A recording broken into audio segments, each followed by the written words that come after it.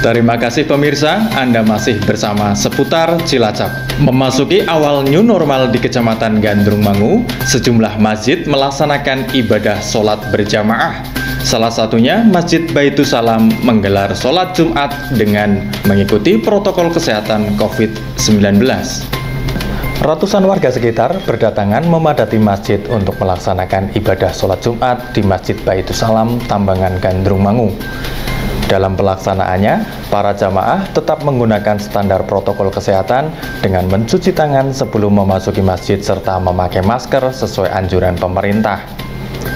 Hal ini disampaikan Imam Masjid Baitus Salam, Kiai Haji Tabingan Sidik. Menurutnya, new normal bukan berarti bebas sebebas-bebasnya, seperti sebelum terjadi pandemi corona. Jamaah wajib memperhatikan kebersihan, pembatasan soft, hingga jamaah luar daerah dilarang mengikuti sholat berjamaah. Sementara Kepala Dusun Tambangan Muslihuddin sangat berterima kasih kepada para jamaah yang telah mematuhi protokol kesehatan. Dibukanya kembali tentang new normal bukan berarti COVID itu sudah mereda, tapi new normal ini adalah kita menempuh hidup baru.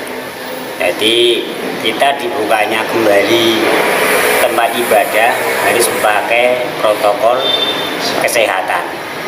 Ya, kita harus memulai dari diri sendiri, terutama pakai masker, cuci tangan pakai sabun, physical distancing harus kita laksanakan untuk memutus mata rantai virus COVID-19 sehingga kegiatan beribadah sholat Jumat tetap berjalan sesuai protokol kesehatan. Dengan menerapkan protokol kesehatan sesuai anjuran pemerintah di new normal, diharapkan kegiatan beribadah sholat Jumat di berbagai masjid kecamatan Gandrung Mangu berjalan aman tetap di zona hijau. Dari Dusun Tambangan, tim seputar Cilacap memberitakan.